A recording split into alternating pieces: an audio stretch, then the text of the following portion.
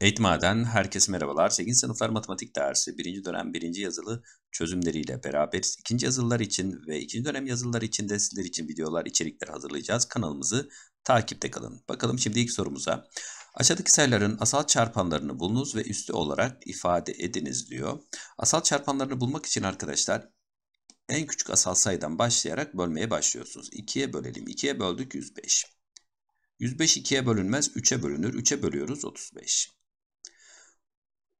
35 3'e de bölünmez. 5'e bölüyoruz bu sefer. 7. 7'ye böldük 1. Şimdi üstü olarak yazacak olursak 2 çarpı 3 çarpı 5 çarpı 7 olarak yazarız. Asal çarpanlarımız ise şu tabanlarımız her biri zaten bir asal sayıdır. 2, 3, 5 ve ve 7 bizim asal çarpanlarımız. Peki 108 için bakalım. 108'i 2'ye bölüyoruz. 54. 2'ye bölünmeye devam ediyor. Bir daha 2'ye bölüyoruz. 27. 2'ye bölünmez artık 3'e bölüyoruz. 9. Bir daha 3'e bölünür. 3'e bölüyoruz.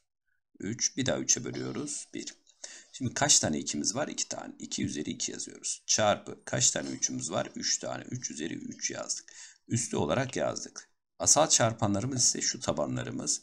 2 ve 3 bizim asal çarpanlarımız oluyor.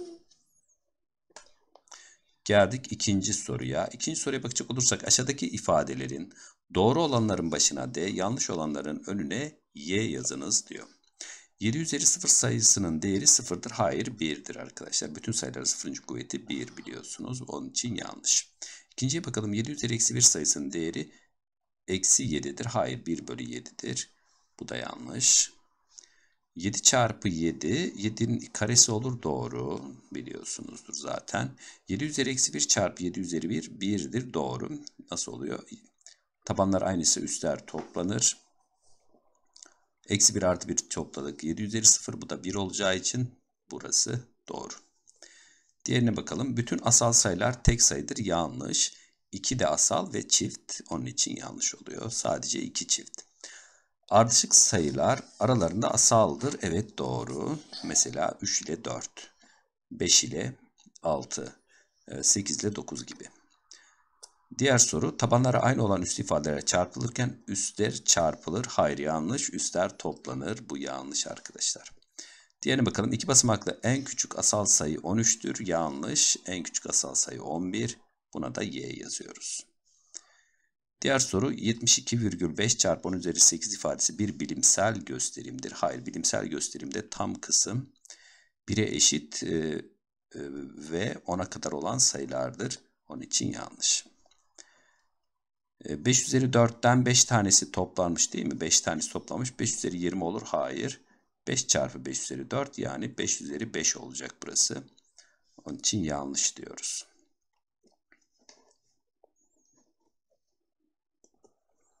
Evet devam ediyoruz. Üçüncü soruya bakalım şimdi. Üçüncü soruda 12, 24, 28, 36 ve 45 yukarıdaki sayılardan hangileri 35 ile aralarında asaldır? 35 asal çarpanlarını ayırırsanız 5 kere 7'dir. Tabii ki biliyorsunuzdur. Şimdi e, bu sayıları asal çarpanlarına ayıralım. Hangisinde 5 ve 7 çarpanı yoksa aralarında asal olacak 35 ile. 12 2'nin karesi çarpı 3. Evet 5 ve 7 çarpanı yok. O zaman 12 ile aralarında asaldır. 24 arkadaşlar 2'nin 3. kuvveti çarpı 3'tür. 24 ile de aralarında asal. 28 2'nin karesi çarpı 7 olarak yazılır. Bakın 7 çarpanı var aralarında asal olmaz. 36'ya bakalım 2'nin karesi çarpı 3'ün karesi. Evet 36 ile aralarında asal. 45 e, arkadaşlar 5 kere 9 biliyorsunuz. Şimdi 5 çarpanı var bunda da. Onun için 35 ile aralarında asal olamaz. O zaman 12, 24 ve 36 ile aralarında asaldır yazalım sınavda da. Evet bu şekilde çözüyoruz bunu. Geldik dördüncü soruya. 6 çarpı 10'un karesi artı 2 çarpı 10 üzeri 0 artı 5 çarpı 10 üzeri eksi 2 artı 7 çarpı 10 üzeri eksi 3. Yukarıda onun kuvvetlerine göre çözümlenmiş olarak e, yazılan ondalık kesiri yazınız diyor bize. Şimdi onun karesi demek yüzler basamağı. Yüzler basamağında 6 var. Onun birinci kuvveti olmadığı için onun yerine sıfır yazıyoruz. Bakın onun bir ikinci kuvveti var, birinci kuvveti yok. Onun sıfırıncı kuvveti demek birler basamağı demektir. Birler basamağında da 2 var.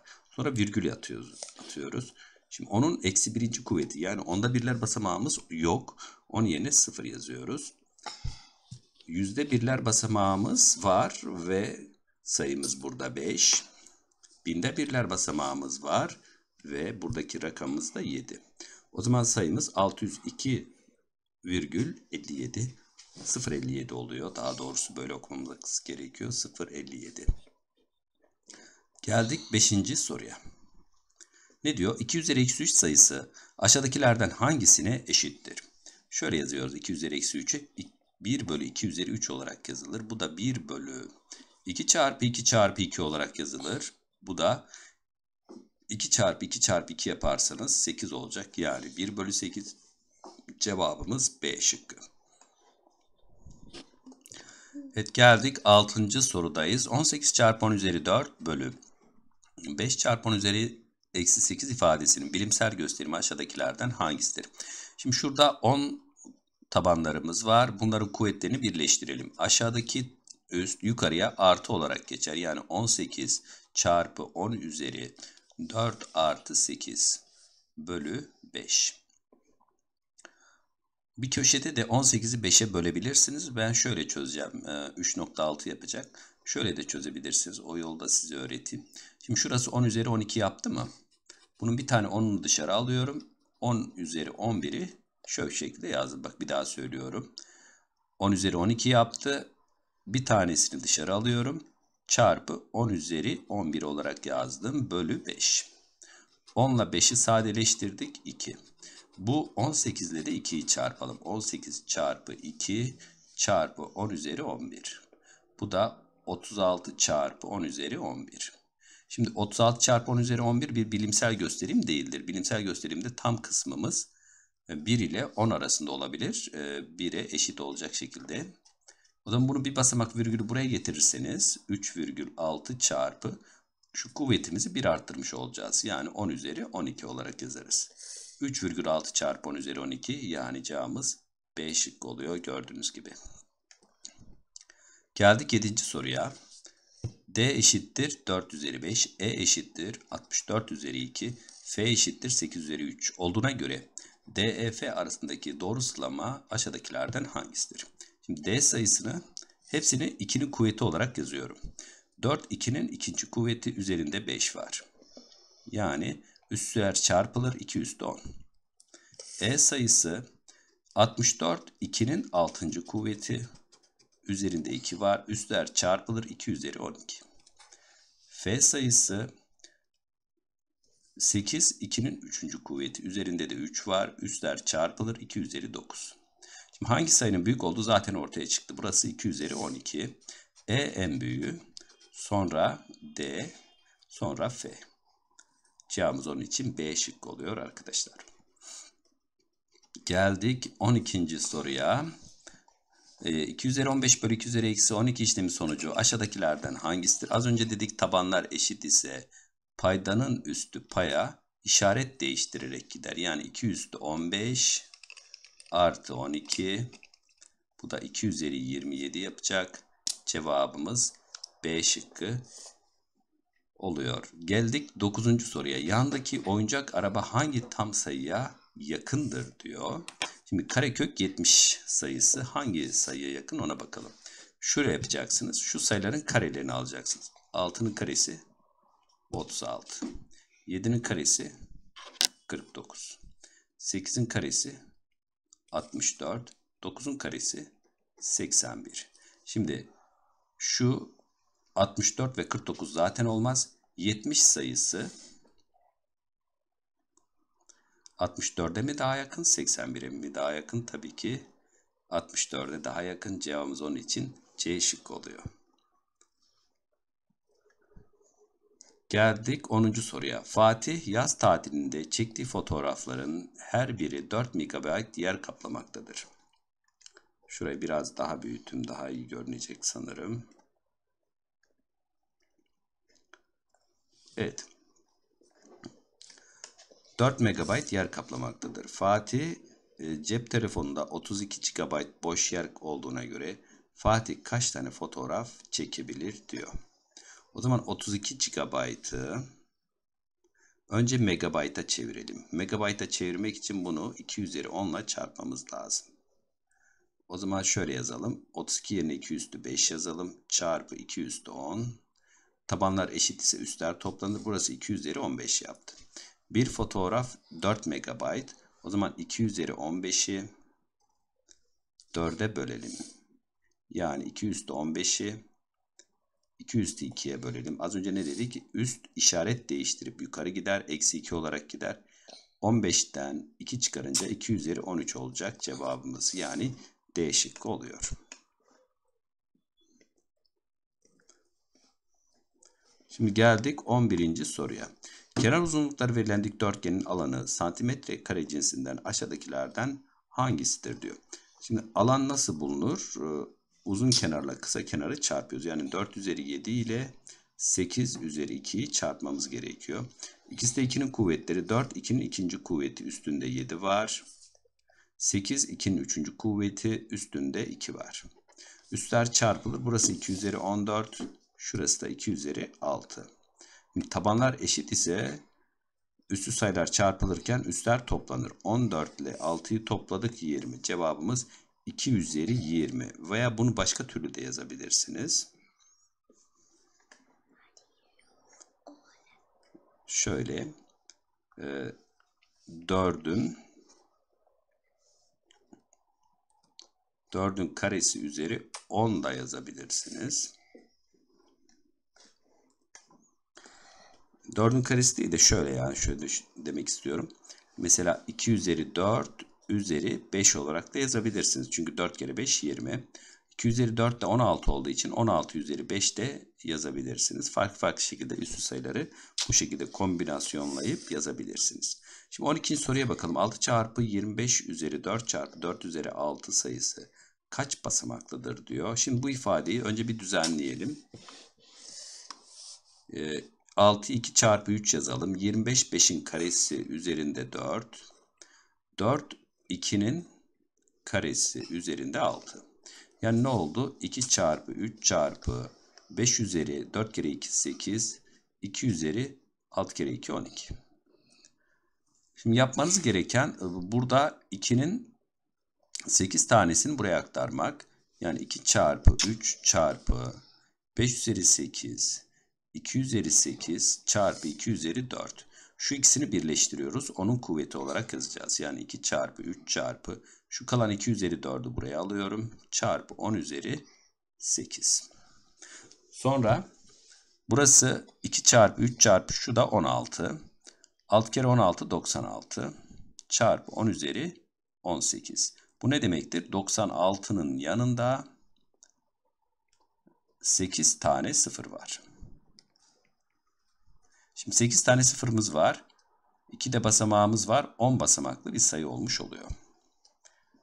Gelelim 72 13. E, soruya. 72 metre ve 60 metre uzunluğundaki iki farklı ip hiç artmayacak şekilde eşit uzunluktaki parçalar ayrılacaktır. Buna göre bu iş için toplamda en az kaç kesim yapılmalıdır? Şimdi 72 ve 60'ın EBOB'unu bulalım. Yani ortak bölenini bulalım. En büyük ortak bölenini bölelim. 2'ye böl 36, 30. 2'ye bölüyoruz. 18'e 15. Şimdi 2'ye ortak bölenimiz zaten şurada bitti. 3'e bölüyoruz. 3'e böldük. Şurası 6, şurası 5. 6 ile 5 arasında ortak bölen olmadığı için devam ettirmiyoruz. Bizim ortak bölenimiz şu 2 çarpı 2 çarpı 3 yani 12. Her parça 12 metreye bölünüyor o zaman. 72'yi 12'ye bölüyoruz. 6. Bir de 60'ı 12'ye bölüyoruz. 5. Şimdi bu 6 parçaya bölünüyor. Bu 5 parçaya bölünüyor. 6 parçaya bölmek için 5 kesim yaparız. 5 parçaya bölmek için 4 kesim yaparız. Toplarız. Cevap 9 olacak. Bakın isterseniz gösterelim. Şöyle. Diyelim ki biz bunu 5'e bölmek istiyoruz. 4 kere kesmemiz lazım. 1, 2, 3, 4 kere kesince 5 parçaya bölünmüş oluyor.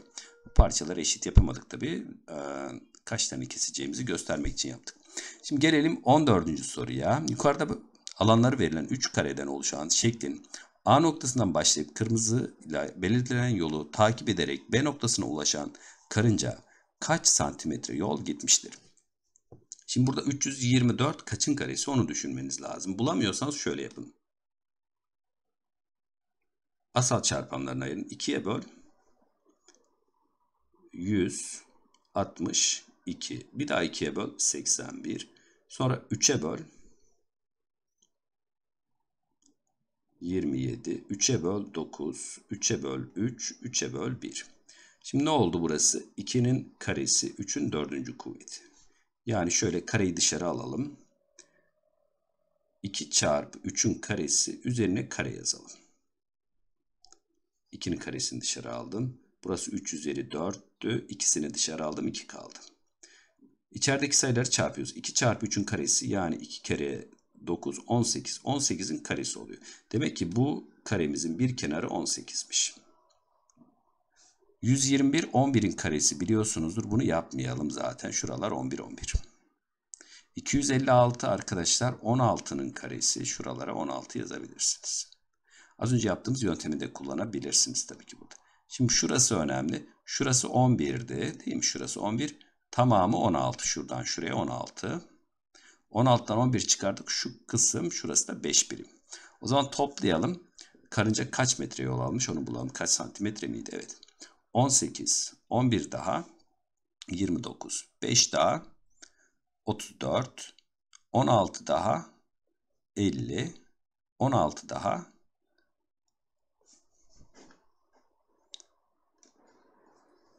66 yaptı. Bir de bizim şurada bir uzunluğumuz daha var. Şurayı da bulmamız lazım. Şurası 18'di.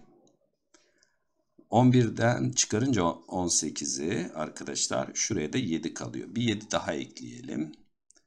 Cevap 73 olacak. Yani D şıkkı. Gelelim e, sonraki sorumuza yani 15. soruya. A ve B pozitif tam sayılarının asal çarpanlar algoritması yukarıdaki gibi olduğuna göre EBOB AB kaçtır diyor. Şimdi EBOB demek iki sayıyı bölen sayıları tespit etmemiz lazım. Bakın A isim değişmiş yani bölünmüş, B de bölünmüş. O zaman bu 2'yi işaretliyoruz. C bölünmüş, D bölünmemiş. O zaman bu 2'yi işaretlemiyoruz. Devam ediyoruz. E isim değişmiş yani bölünmüş 3'e. D bölünmemiş yine arkadaşlar işaretlemiyoruz. F isim değişmiş, D isim değişmemiş. Yine e, arkadaşlar işaretlemiyoruz. Burada ise G bölünmüş 1 olmuş. D ise isim değiştirmiş değil mi? İkisi de 5'e bölünmüş. Burada 5'i işaretliyoruz. Başka da yok zaten. 2 çarpı 5'ten cevabımız 10 olacak. Buradaki ebobumuz 10. Geldik 16. Yukarıdaki parkta 8 üzeri 4 tane ağaç vardır.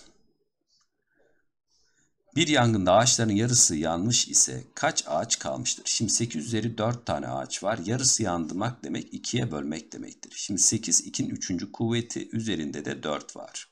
Bölü 2. Üstler çarpılır az önce yaptık. 2 üzeri 12'yi 2'ye bölelim. Şimdi ne yapacaksın? Şunun üstünde 1 var. 1 çıkarıyoruz. 2 üstü 11. Cevabımız D şık olacak. Geldik 17. soruya. Yukarıda 350 sayısının asal çarpanlara ayrılmış şekli verilmiştir. Buna göre A artı B artı C nedir? Şimdi o zaman 350'yi biz asal çarpanlarına ayıralım. 2'ye böldük. 175. E, 6'ya e, e, pardon 5'e bölelim şimdi. 5'e böldük. 35. Bir daha 5'e böldük. 7. 7'ye böldük 1. O zaman ne oldu? 2'den bir var. 2 üzeri 1. 5'ten 2 tane var. 5 üzeri 2. 7'den bir tane var. 7 üzeri 1. O zaman e, 1 artı 2 artı 1 yaparsak cevabımız 4 olacak. Evet geldik bonus sorusu artı 4 puanmış. Yukarıda iki raflı kitapla sırt kalınlığı 3 cm ve 4 cm olan kitaplar arada boşluk kalmadan dizilecektir. Bu rafların uzunluğu 1 metreden fazla olduğuna göre rafın uzunluğu en az kaç santimetredir? Şimdi 3 ile 4'ün ekokunu bulalım. Ortak katını bulalım. Yani bu rafın ortak katını bulacaksınız. 3 ile 4 aralarında asal olduğu için ekokumuz 3 çarpı 4 olacak hiç hesaplamaya gerek yok. 12 çünkü aralarında asal ardışık sayılar aralarında asaldır. 1 metreden uzunmuş. O zaman bizim 12'miz 12'nin katları olacak rafın uzunluğu. Bu da 1 metreden uzun yani 100 santimetreden e, büyük olacak 12'nin katı. Şimdi 12'nin katı olup 100 santimetreden uzun olan en küçük sayımız 108. Çünkü 12 çarpı 8 pardon 9 olarak yazılır bu. 12 kere 9 108 olacağı için cevabımız burada B şıkkı oluyor. Evet arkadaşlar sizler için yazılımımızı bu şekilde bitirdik. Umarım sizler için faydalı bir video olmuştur. Hepinize başarılar diliyorum. Hoşçakalın.